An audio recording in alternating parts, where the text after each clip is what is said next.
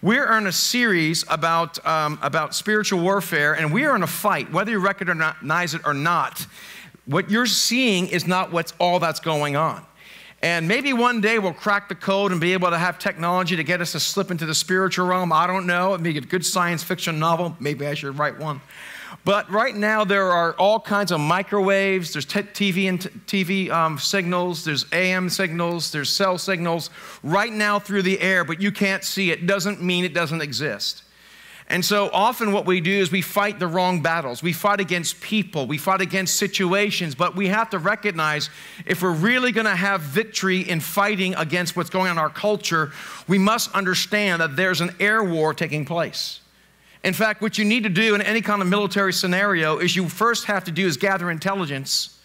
And then after you gather intelligence, you begin to soften the targets by bombing them through strategic, strategic surgical strikes, right, against the enemy. And then the ground troops can come in. We're the ground troops. And there are things going on in the heavenlies that that, are, that you may not see, but it's really going on. And, and we mentioned this before, and I just want to give a little bit of a, uh, uh, just an understanding about it, we often fall into two camps. We either over exaggerate the demons, there's a demon everywhere, as C.S. Lewis says, or we make nothing of the demons and, and what's going on in the spiritual well, world. And the enemy is happy with both scenarios. The truth of the matter is, God placed us here where He places you, He gives you the most authority. He's placed us in the physical world. So we are ground troops. We need to speak to God through prayer. We need to be aware of the enemy, but we're on a mission, and if we follow our commander in chief, if we listen to what God has called us to do, because He's in the war room and we do what He's called us to do, we can have victory. Now, the good news is this we've already won the war through Jesus Christ. When Jesus died on the cross, he conquered both the power of sin and death. But right now, we're in the mopping up operations between the war being won and being done. The decisive battle during World War II was D Day. But it took uh, at least a year before the, before the war was completely over. We're in that incomplete time right now. And so I can tell you right now the best is yet to come in Christ Jesus. But we must know how to fight. Now, how many of you like shoes? Okay? All right. How many of you think shoes are important? How many of you are barefoot today? Okay, well, you gotta be careful, for example. Uh, yeah, you know, you wanna be careful because if you walk barefoot, you could like hurt yourself, right? Yeah, absolutely. So it's really important to have the right types of shoes. And, and I've been to the beach and we went to the, uh, Marco Island in the middle of uh, July. Man, let me tell you right now, you'd fry an egg in that, in that sand. And so you walk in that sand, ow, ow, ow, ow, right? It's so hot, you have to wear your Crocs and which is a crock, right? So you have to do that as well. And so just to deal with the heat, and so you have to have your feet protected. So shoes are very important. Can I hear an amen from the ladies? Sneakers are important. Can I hear an amen from the guys? Amen. How many of you are sneakerheads? Okay, I'm not a sneakerhead. I'm boring. I did wear the same cut. Okay, anyhow. So here's a wear your shoes. You need to wear your shoes. And here's an example of someone's shoe collection. And very, we make a big deal of shoes in our culture uh, you know, all kinds of shoes for everything. For example, some of you like to go golfing. That's called golfing shoes, and you want to make sure you have the right types of shoes for the right attire. Another example would be this, right? How many of you, I mean, I'm sure each of us have these. These are called tap dancing shoes, right? So maybe we'll do that next week. So tap dancing shoes. This is specific. How many of you like your bowling shoes? Okay, I don't have any bowling shoes. And then you have cleats. This is really important. You have football and baseball and, and soccer, you need to have your cleats because what happens is it holds you in line. If you're a linebacker and you don't have any good grip, you're going to be throwing it down. You need cleats to what? To spike into the ground, to have a grip, to be able to stand, to be able to do what you're called to do. And of course, we all love uh, Pastor Thomas behind there. Pastor Tom, wave everybody. There's our cowboy pastor behind there. He likes cowboy boots. Come on, give it up for Pastor Tom. so if you don't know Pastor Tom, talk to him afterwards. Okay, but you have cowboy boots, right? So you have to wear, ride the horse, you need cowboy boots. And then, of course, this is amazing. I was looking at sneakers and all that, and in fact, uh, these Air Jordans sold for $31,000. It's a, it's a crazy market out there. Now, check this out. You think that's something.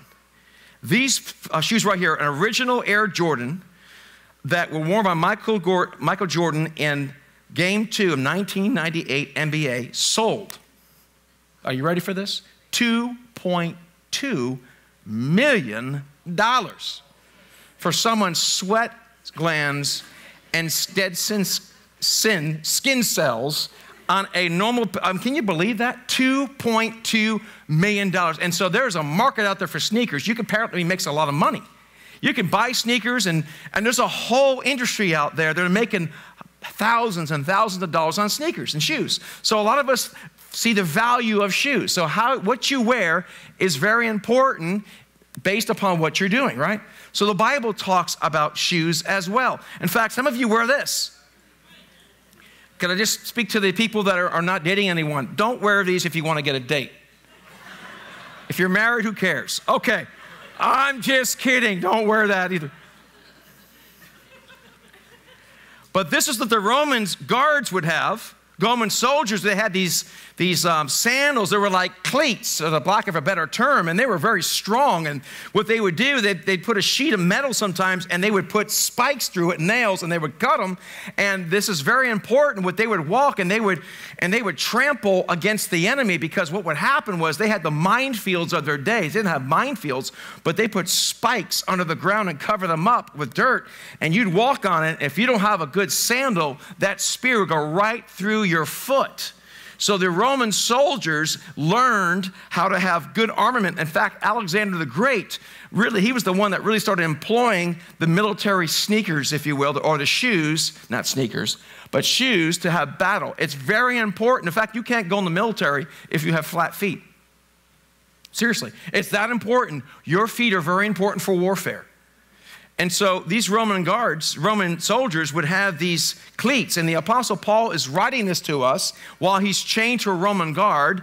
Undeniably, looking at the Roman guard, probably coming with ideas for his sermon, for his writings. And he uses this as an analogy to explain what's going on. So these were absolutely amazing. And you would march sometimes, a whole regiment would come together and march with the right armament that are on. So here's an example of what you can see. We spoke the very first week about the belt of truth. The belt of truth is very important. Remember, truth is not, not subjective, it's objective. There is something called absolute truth. Two plus two equals five. You all know that, right? What's my, I feel, my truth, two plus two equals five. No, no, there's truth. There's right and there's wrong. And God designed truth. In fact, God is truth. He cannot help but be true. And so we spoke about that. The belt of truth is very important. How do you hold all your armament together? You have to put the belt of truth on first. You will know the truth, and the truth will set you free. If you know a lie, it will keep you in bondage. So, very important we understand that. So, what we're going to do right now is read the basic passage of Scripture, which we're launching this entire part of the series on, about the reality of the life you and I live and what is going on in our lives. Okay, you guys ready? All right, here we go. Finally, be strong in yourself. Be strong in what? In the Lord. I will boast in God. You see, all of us are designed to be confident and well positioned people. And the only way you can truly do in the right way is if you are, you are confident in who you are in God and you're humble about it, but you're confident. So finally, be strong in the Lord and in the strength of his might, like a sailboat at sea that hoists its sails to catch the wind, to propel it forward. So you and I need that as well. It's the strength of God. So, in the strength of his might, put on the whole armor. This is a command put on the whole armor. If you're going to be part of a Roman soldier, you need to put on all the armor of God that you may be able to stand against the schemes of the devil. Yes, there is a devil out there. I doubt he messes with you and I. but he's like the commander in chief of what's evil in the world. If you don't think there's a devil out there, all you have to do is see the heinous and horrible things that are going on in our culture today around the world. It's unbelievable how evil is, pro- is progressing in a very bad way, but God has us here to make a change in that. So, against the schemes of the devil, for we do not wrestle against flesh and blood, but against of rulers, against authorities, against the cosmic powers over this present darkness, right?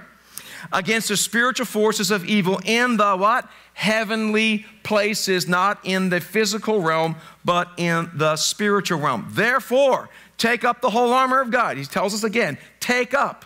And there's six pieces of armament. He takes the first three you're supposed to take up, and the last three you're supposed to put on when necessary. So take up the whole armor of God that you may be able to withstand in the evil day. You and I can be overcomers. We can withstand in the evil day.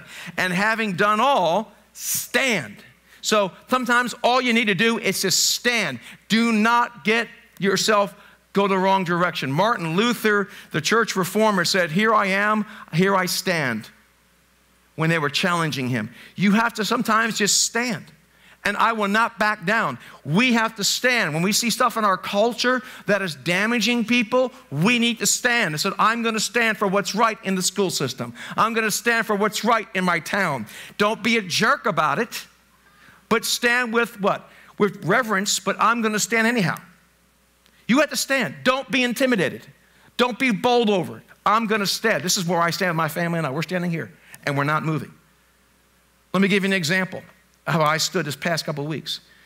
I tell you, my mother's been, my mother's really struggling with her health right now, and um, she's been going to rehabs and all that. Some of these rehabs are like prisons. Horrible, right? So they want to take my mother from the wheelchair to the bed, and these, these guards come in. Uh, they call them healthcare professionals, they're guards. He said, You need to leave the room. I said, I'm not leaving the room, I'm staying right here. You have to go. I'm getting my supervisor. I don't care. I'm staying right here. You want to touch my mother? I'm going to be right here. I'm going to see what you do. And they're rough with my mother. You know, she'd say, okay, we're going to move you to the right. Three, two, one. They're just like a rack. I said, what do you think you're doing? I got in trouble. Listen, I'm going to stand. God doesn't call us to be wimps. We should stand up for our kids. In fact, I'm going to embarrass somebody in my family, but I remember, never forget one time Luke was on the school bus and this kid was making fun of his, his sister Hannah, and Luke punched him in the face and broke his glasses. Can I hear an amen? Okay, sorry. All right, sorry. That's violent. No, it's godly. If someone beats up on your sister, take them out in the biblical sense. But seriously, guys, what's all this man be paying? I'm a Christian. No, be a man, be a woman, stand for what's right. But don't be a jerk about it. And that's hard for me not to do because I'm Italian, okay? Therefore, take up the whole armor of God that you may be able to withstand in the evil day, and having done all to stand, stand firm. Stand. What do you think he wants us to do? Stand, right? Stand therefore, having fastened on the belt of truth, and having put on the breastplate of righteousness, and as the shoes for your feet, and having put on the readiness given by the gospel of peace, and all circumstances, take up the shield of faith, with which you can extinguish all the flaming darts of the evil one, and take the helmet of salvation and the sword of the Spirit, which is the word of God, praying at all times in the Spirit with all prayer and supplication to that end, keep alert with perseverance, making supplication for all the saints, which is plural. So listen, if you're going to be a Roman soldier, you're not much good without a army about and around you. You see, God's calling us not to be individualized only. But in order to be a soldier, that means you're part of a army. You're part of a regiment. You're part of a platoon. Are you a, are you a soldier? Do you have your armament on? Or are you all by yourself? You're all by yourself, you're gonna get picked off. We need to join together as in unity, helping each other. Stand together. We're talking about in the coming weeks. We stand together, we watch each other, because I can't see what's in back of me. But if I have two or three brothers with me, at least, they can keep an eye on what's going on. You need to be connected to other people. It's very important. The only way this works, Christianity is not an individual sport. It is a team effort. You're responsible for how you play on the field, but you can't win without Jesus and the team. Are you connected? Otherwise, what's going to happen is you're going to be down one day and say, you know what, I'm tired of this. You need someone to say, I noticed you've been kind of down lately. I noticed your attitude's been not been right. I've noticed you haven't returned my text messages. I noticed it. What's going on in your life? You need someone to tell you when you say, I want to leave her or leave him, you say, no, you know, no, you're not going to do that. You made a commitment. You need someone to tell you when you feel like you want to drink or do drugs or steal, someone can tell you, no, no, no, you're not called to do that. You're better than that, my friend. When you feel like giving up on life, you need someone to tell you it's going to get better. The sun will come out tomorrow. And finally, it did today. Amen. Right? So you need a team. And this is what's so important. This is why we have small groups. This is why we have encourage you. This is not the answer. What's the answer is getting together with brothers and sisters in the Lord. And this is an excuse to get to know other people that you and I can fight the battle that's set before us. But if you're all by yourself, you're going to get picked off like a zebra in the Serengeti. You need to come together as a pack. The zebras will kick together against the lions. But if it's by itself, it's going to be prey. And so the enemy is preying on you, so you and I need to stand up and put on the armor and march together, and we can make a difference in our culture and our land. So I would encourage you to get involved. If we don't have something here, look online. We have extra things online. If we don't have anything that works with your schedule, tell us, and we'll make a small group for you. I'm serious. It's that important. Get connected. And what begins to happen is you're in the parking lot or the driveway of someone's house afterwards, and then the real conversation happens. You're like, I don't know if I can take it anymore. I don't, I don't know. I'm depressed. I'm down. I had enough of her. I had enough of him. Or I, I told the Lord this was the last time, and I did it again. If anyone ever knew what I did, I would be done. You need somebody you can speak to and take off the mask and be real. If you're going to be a soldier, that's what you need. That's why we have small groups to help foster. Now, you don't tell everyone everything, you find a trusted brother or sister. And one of the things I have passion for is for men to, to get real with each other and be strong. Blood-stained allies. That's why we have men's groups that meet on Wednesday morning at 6 a.m. Anywhere from 40 to 60 guys meet there. We have the you know, Wednesday evening, Friday morning, and we want to get more and more men. Why just the men? Because the men have been isolated. You ladies are good at getting together. Us men, we're kind of hard headed. And we need to gather together. So, how do we do that? For perseverance, making supplication for the saints. So, I want to encourage you guys, not right now, but after, get signed up. And if you don't, you don't have to go there for life. If you don't like it, don't go back. Seriously, it's okay, but get involved. It's important to get connected, the only way you can live this life. If you're a baseball player, you need to be a part of a team. If you're a football player, you need to be part of a team. If you're part of the army of God, you need to, you need to be part of the army of God, not by yourself. Does that make sense? Mm-hmm. Okay, thank you so much. And so today we're talking about this and the shoes for your feet, having put on the readiness given by the gospel of peace. You know what the gospel means? In koinonia Greek, it's barely used. It means it's so good, it can't get any better. I rarely ever give anything, any awards, and never see a movie that's perfect, right? There's always something that could be better. No, this is what talking about. Gospel is so good, it's hard to believe it's so good. The gospel of peace. Peace means tranquility during hostility. Tranquility during hostility. Anyone can have peace on the beach. If you are in, if you're in some of the Fiji Islands, drinking Fiji water on, a, on an umbrella, and you got the you got the beautiful sunlight on you, anyone can have peace there, and the bills are paid. Oh, that's fantastic, right? Everything's going great. But when your mother's in the hospital, not quite sure she's going to live, when you have a health issue, and this is not me, but you don't know what's going to happen, when things are going bad and people are losing their jobs and you think you might be next, that, that's the heart, that's when really peace is necessary. That's when you know you really can get peace or not. Peace is a state of being, but God says this My peace I give to you. It's the gospel of peace. And what's that? That's the shoes. This is how you and I can stand in the middle of the storm. I, I'm, I'm going to stand, I'm going to move forward. What, the, what does the gospel of peace do? Wear your shoes of peace. Look at your neighbor say, Wear your shoes of peace. Crocs will work. Okay. And so this is a picture of me a couple summers ago.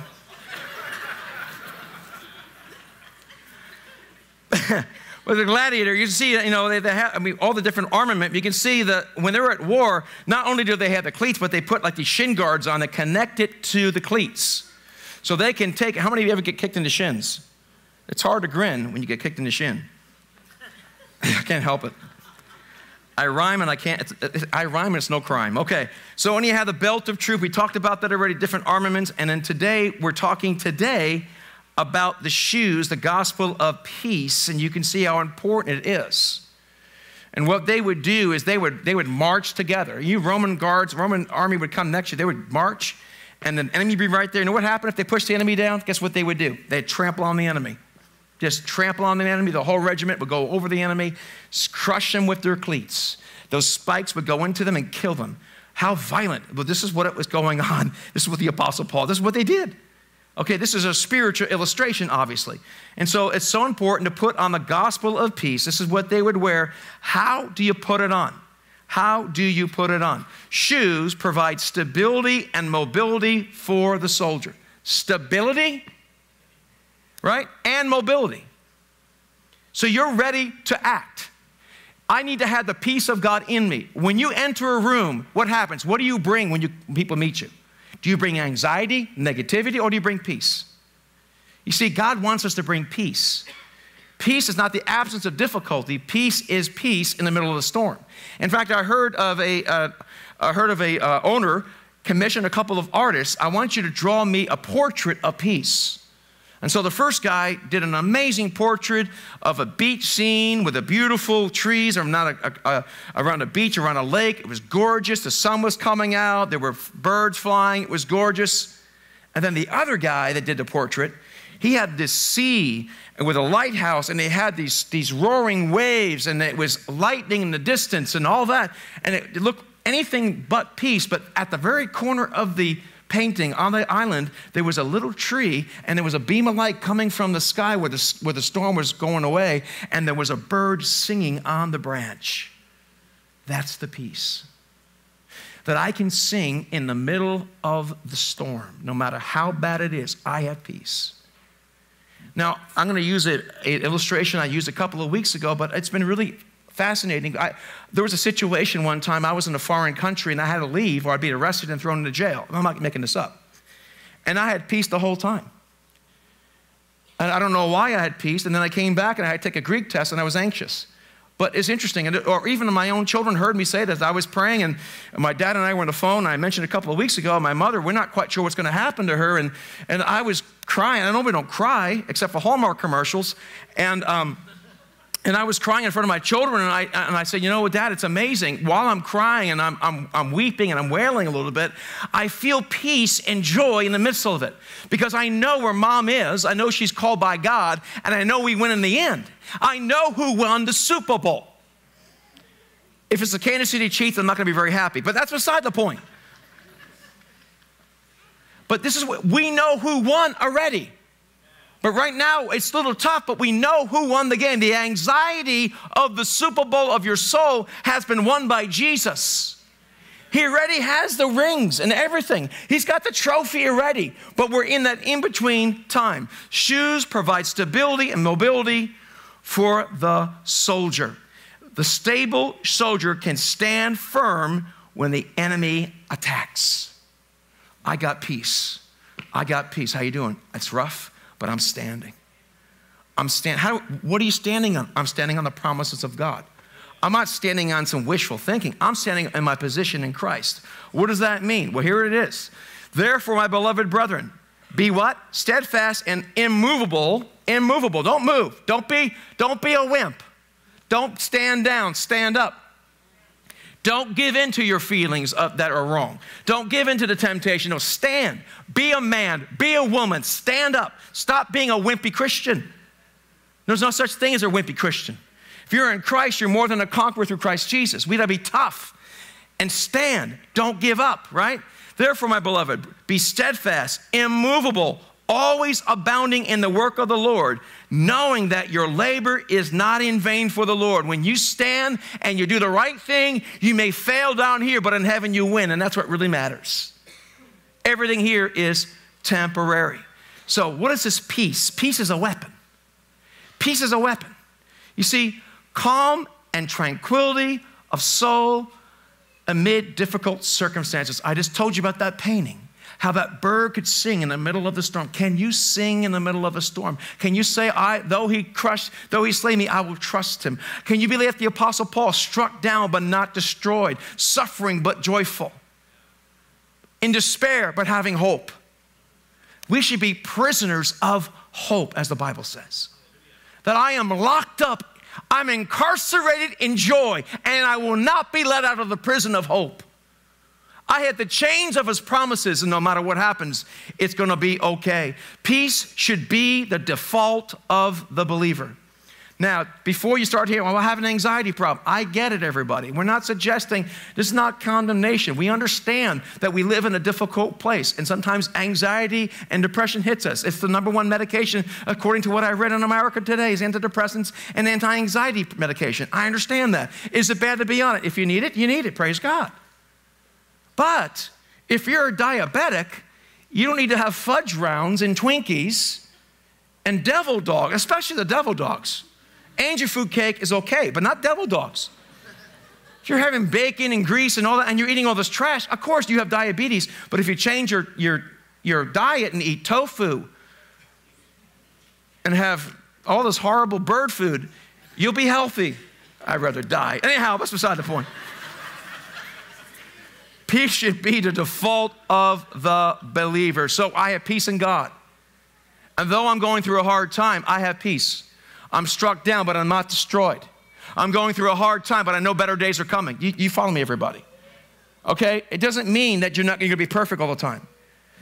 Okay? You need peace when things are tough. And the peace of God, which surpasses all understanding, will guard your hearts and minds through Christ Jesus. It will guard your heart and your mind. How do you do that? You are thankful. Thank you, God, that no matter how bad things are going, the best is yet to come. I told my mother when she could barely talk, Mom, the best days are ahead in Christ Jesus. You can believe it, Mom. The best is yet to come. And I tell people that in hospice for years because if you're in Christ, the best is yet to come. This is only a womb, and eternity is so much better. Peace is what I have because Jesus lives in me. Let me give you an example. If you're in a submarine, right? If you're in a submarine, you are in the ocean under the water, but you have a different environment. In fact, I, I was reading this past week in preparation for this about fish and mammals. You know fish, right? Fish or fish. Fish are fishy. Fish are usually cold blooded. Whatever the environment is, they take on. They're slimy and they're fish. They're stupid too. That's why we have to eat them. Okay? They're, they're stupid. They're dumb. But you know, there's something else called mammals. And those are like whales and dolphins. They're smart. And what happens is they're in the ocean, but not of the ocean. They live in a different environment. They, are not controlled. Though they may be cold in the environment, they go to the top and they blow out the toxicity and they breathe in the heavens of another planet, another part of our planet, and they go down into the depths of the sea and they can live because they're in a different environment. We're to be in the world, but not of the world. We're to be about, I, I'm, I'm in the world, but I'm not of it. And so I also read this that they're during a storm, it could be a horrible hurricane on top of the water. And so if you're at five feet below, it's still there. But if you go 25 to 26 feet below the storm, it becomes tranquil. So when you're going through a hard time, it's time to go deep. It's time to go deep. It's time to fill those tanks with faith and submerge into the promises of God and stand in a different environment. I'm going to bear, I'm going to weather the storm because I'm going deep in the promises of God, which are yes and amen. That's what we have to do. So, peace is what I have because Jesus lives in me. But now in Christ Jesus, you who were once or far off have been brought near by the blood of Christ for he himself is our peace. He's our peace who has made us both one and has broken down in his flesh the dividing wall of hostility. The gospel message is this simple all of us are a complete wreck. If you think you have your act together, no, you don't. None of us do. All of us make tremendous mistakes. It's only by the grace of God any of us can stand. As you receive the grace and listen to God and, and, and do not live voluntarily in sin to say, I, I want to do better. Watch what God can do through your life and my life. This is what Jesus says. He says, Peace I leave with you. My peace I give to you, not as the world gives, I give to you.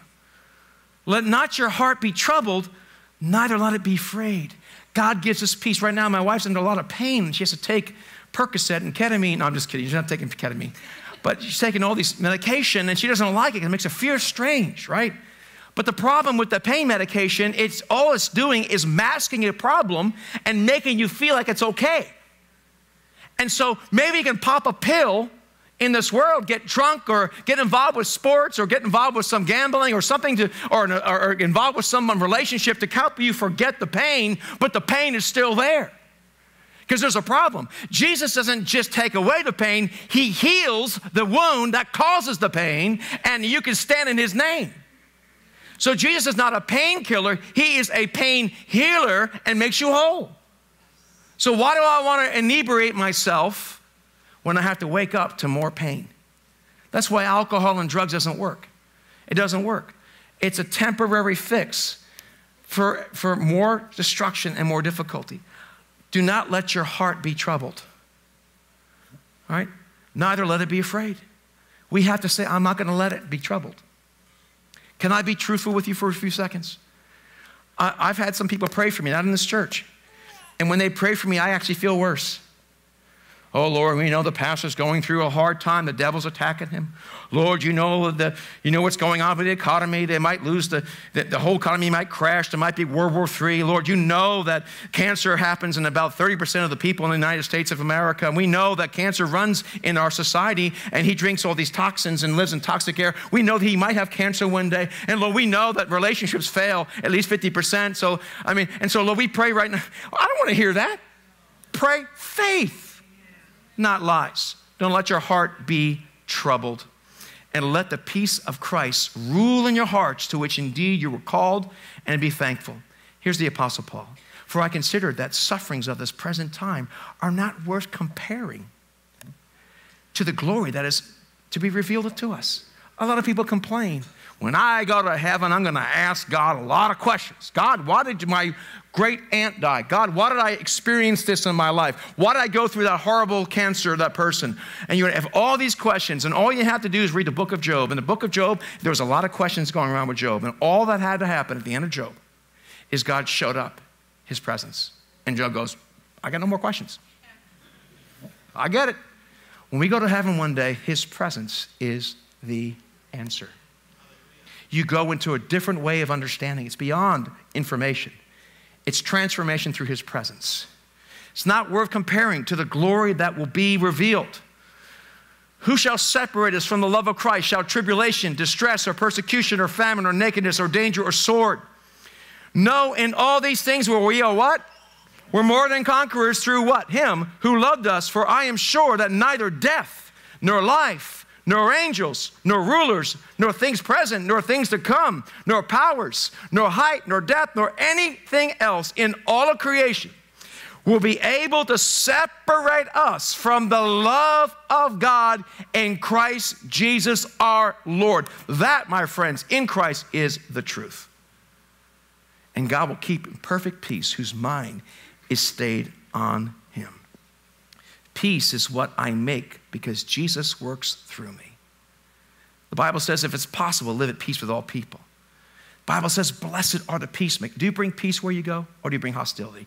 In the break room, do you come and make it better or do you, or you let out a negative bomb? What happens when you walk into a place? You know, George Washington Carver had a rough time. He was born into slavery. His parents were, were, were, were um, kidnapped. He grew up in a very hostile time. Yet this man had a deep faith in God and did not get bitter, he got better. And he let the peace of God bring him just to, to rise above the ocean of this world. He was a mammal who understand a different atmosphere. And this is what he said God cannot use you as he wishes until you come into fullness of his glory. Do not get alarmed, my friend, when doubts creep in. That is old Satan. Pray, pray, pray. Listen, we all go through doubts. But be like George Washington Carver, who could had a bunch of excuses why he couldn't rise. He became one of the greatest scientists of the last century in regards to agriculture. So don't let it stop you. You won't find peace until you or make peace with God. Have you made peace with God?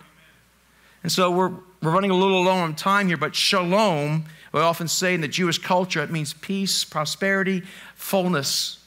God wants you to have peace. Be still. I am God.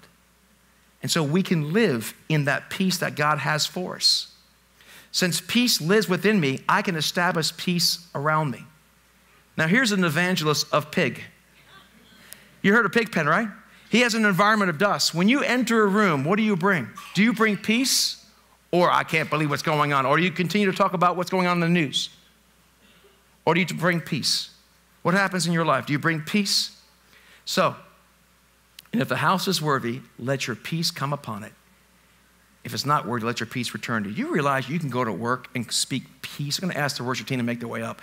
You can speak peace into your workplace. In Jesus' name, as you pull up in the driveway, Father, I ask peace to be upon this household. Lord, I pray peace in this classroom. I pray peace in this courtroom.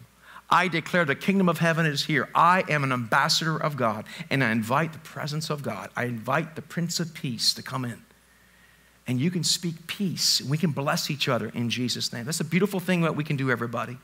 Wear your shoes of peace. Let's pray. Father, I thank you so much that we get to make a difference together. Lord, I thank you that you've made us ambassadors of heaven for those of us that have given our lives to Christ. Can we just, if you feel comfortable, just lift your hands for a second. Lord, I just pray that your peace would reign on everyone here. Lord, in this troubled time, Lord, we thank you that you are our peace. Holy Spirit, I pray you'd rest upon everyone right now. Peace be still and know that I am God. Thank you that we had the victory through the Jesus Christ. I command fear and anxiety and worry to go. Lord, we choose to believe what your word says over our thoughts and our feelings in Jesus' name. Amen.